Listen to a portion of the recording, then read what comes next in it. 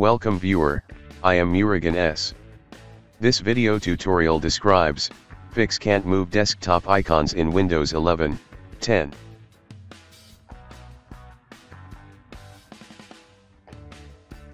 First method is right click desktop, click view, unselect auto arrange icons.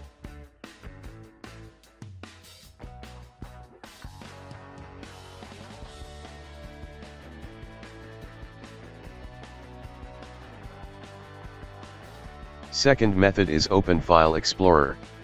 Click three dots, click Options. Click General tab, click Restore Defaults, click View Options, click Reset Folders, click Yes to reset folders.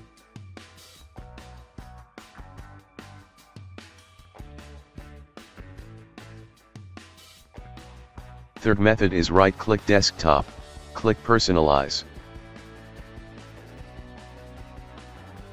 Click Themes, click Desktop Icon Settings, uncheck Allow Themes to change desktop icons.